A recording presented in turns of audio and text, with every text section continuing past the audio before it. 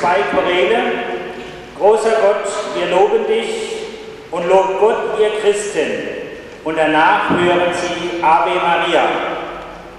Dargeboten vom Fürther Akkordeonorchester.